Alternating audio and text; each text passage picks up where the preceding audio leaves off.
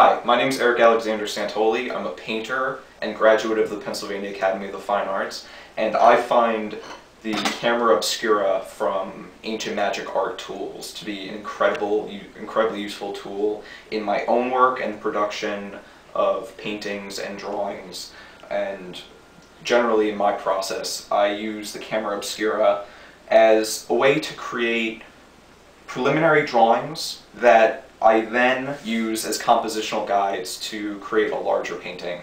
So there's other ways to use the camera obscura too, which are incredibly useful to any artist, uh, beginner or advanced, that it's a great way to analyze color and contrast because it enhances both of those aspects.